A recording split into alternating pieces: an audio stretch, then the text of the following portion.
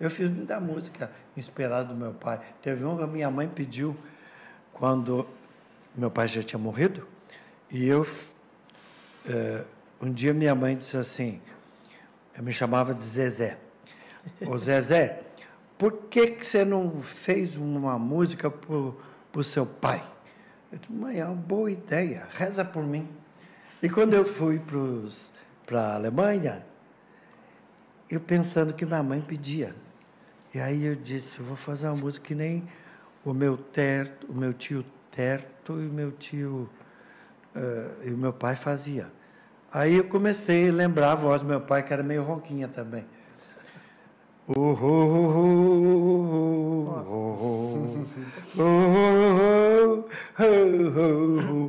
Eles faziam muita coisa nesse estilo, né? E eu lembrei do que meu pai fazia, eu comecei. E nasceu a música Utopia. Que a minha mãe pediu. Nossa, Ô, Bruno, você sabe cantar essa utopia aí? Sacanagem. Caramba! agora eu, tô, agora não consigo cantar tá nada. Ele, ele cantou tudo no carro, mas ele das tá nervoso. muitas coisas. No meu tempo de criança. Nossa senhora. Quando vivo na lembrança, o aconchego do meu lar. É isso? Isso. Pois é. Eu amo essa música. Quem Nossa, fez essa música foi minha mãe, pedindo e lembrando meu pai. Eu fiz outras músicas em memória do meu pai e da minha